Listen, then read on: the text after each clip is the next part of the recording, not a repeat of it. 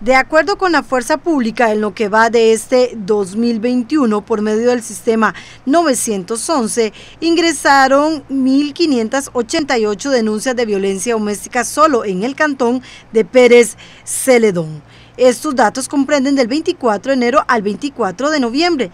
El reporte está así. Intrafamiliar mujer psicológica 1075, intrafamiliar hombre psicológica 199, intrafamiliar mujer física 130, intrafamiliar mujer patrimonial 48, adulto mayor psicológica 45, niño atención psicológica 40, hombre, violencia física, 24, hombre patrimonial, 12 denuncias. En el caso de violencia intrafamiliar a niño, en tema físico 6, adulto mayor físico 5, mujer en temas sexuales 3, intrafamiliar adulto mayor patrimonial 1, para un total de 1.588. Sí, lamentablemente para Fuerza Pública eh, es un fenómeno que todos los días tenemos que atender en nuestro cantón y en nuestra región y que las estadísticas lo que demuestran es que va en aumento. Es por eso que el día de hoy eh, nos encontramos conmemorando el Día de la No Violencia contra las Mujeres para recordarnos a nosotras mismas y a la comunidad que ninguna mujer merece eh, ser violentada en sus derechos. Es por eso que hoy también le damos un recordatorio a la comunidad y a esas mujeres que sufren violencia de que no están solas, de que habemos una red de instituciones en el cantón que estamos dispuestas a ayudarles y a servirles para sacarlas de ese ciclo de violencia y que ellas se empoderen y que puedan llevar una vida sin violencia.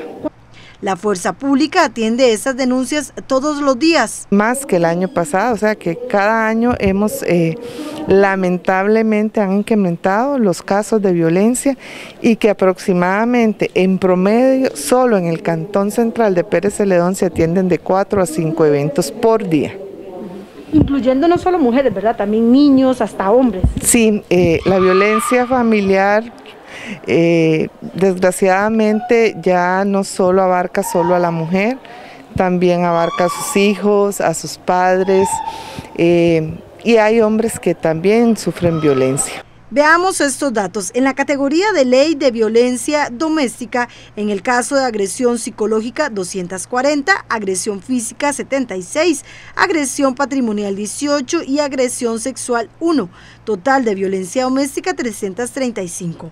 En el caso de la ley para la penalización de la violencia contra las mujeres, incumplimiento de medidas de protección 54, violencia física 48, violencia psicológica 32, tentativa de femicidio 7, violencia patrimonial 5, restricción a la libertad de tránsito 1. Total, ley para la penalización de la violencia contra las mujeres, 147.